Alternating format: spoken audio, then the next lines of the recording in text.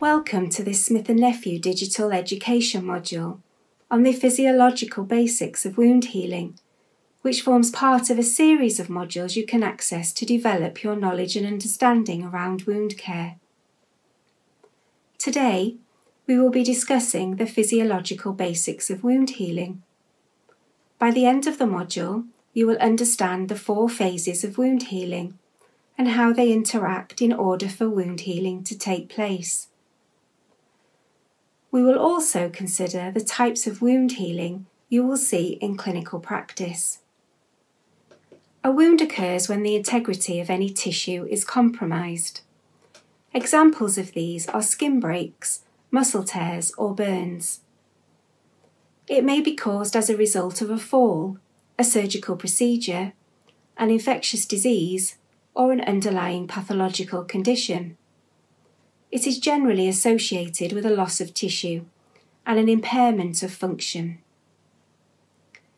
The types and causes of wounds are wide ranging, and there are several different ways of classifying them. Wounds can be either chronic, and an example of this could be a leg ulcer.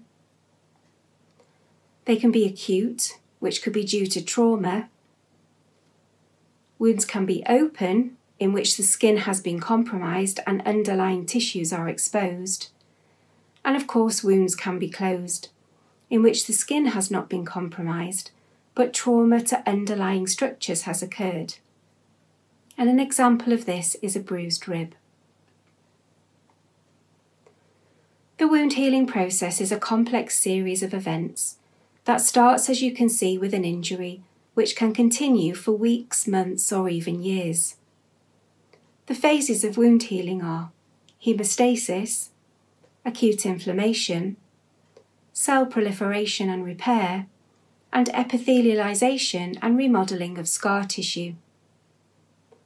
For a wound to heal successfully, all four phases must occur in the proper sequence and time frame.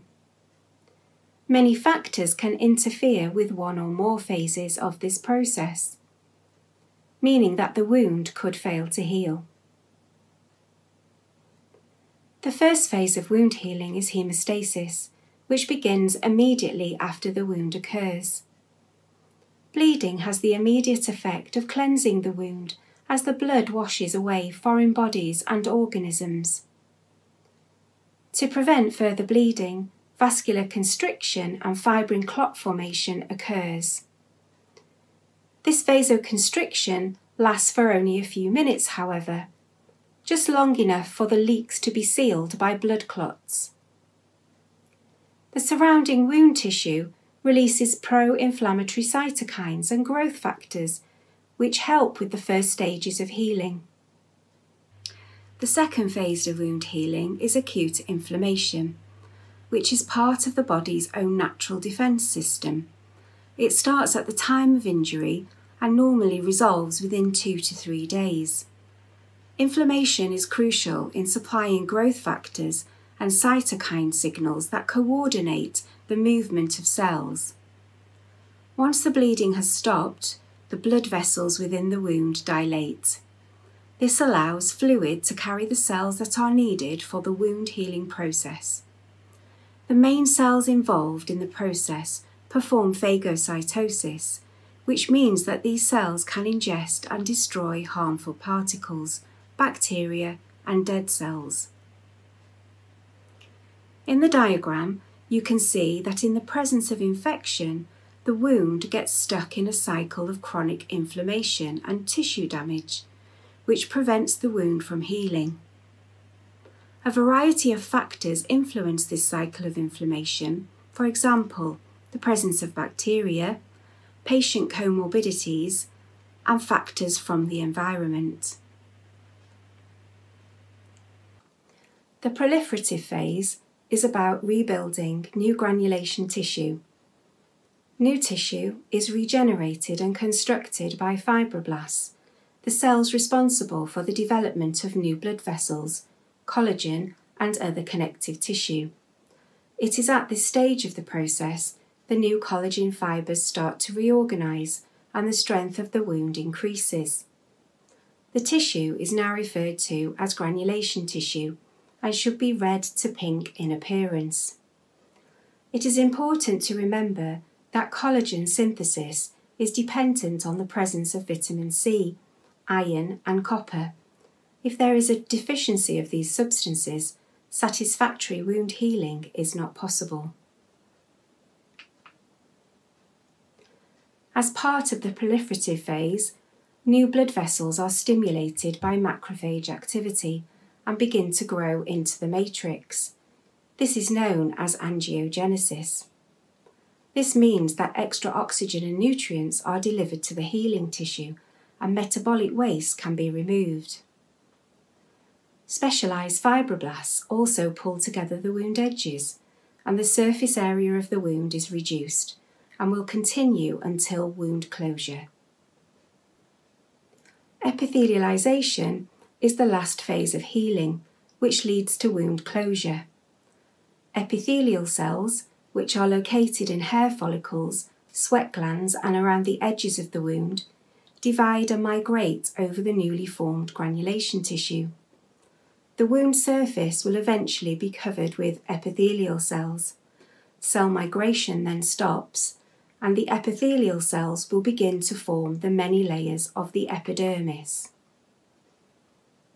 It is important to remember that an optimal wound healing environment is needed for this process.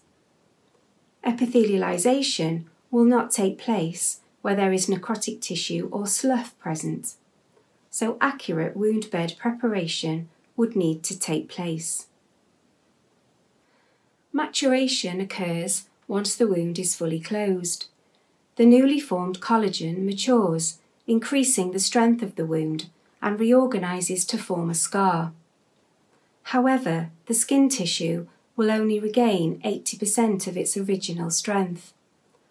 The scar tissue does not have an effective blood supply so it is avascular in nature.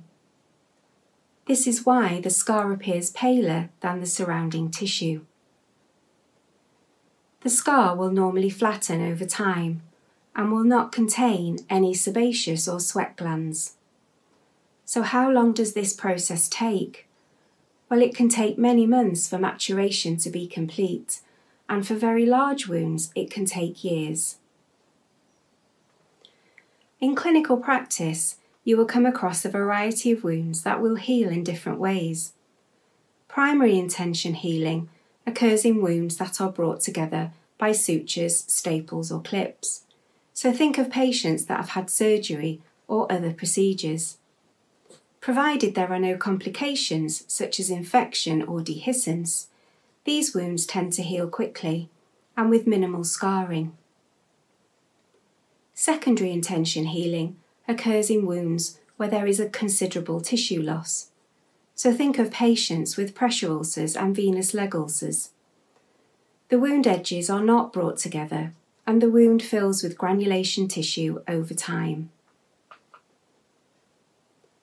Tertiary intention healing occurs when the wound edges are left open for a few days in order to allow for further surgical investigations or reduction in swelling and edema. An example of this would be a patient with an open abdomen following lengthy surgery of the colon. The edges are brought together once the surgeon is satisfied that the patient is stable. Healing would then take place by primary intention. To check your knowledge and understanding, try and answer the quiz questions.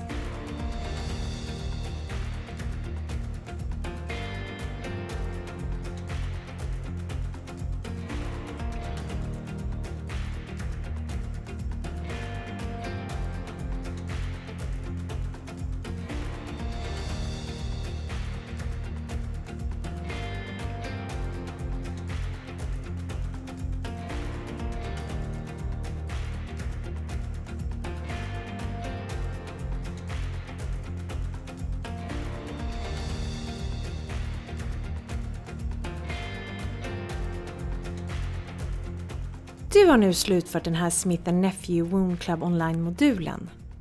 Ta dig tid att reflektera över det du har lärt dig och hur du kan tillämpa det i ditt dagliga arbete.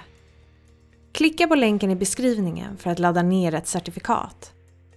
Tack för din tid idag! Kom ihåg att titta på de andra avsnitten för att få tillgång till ytterligare moduler som hjälper dig i din utbildning.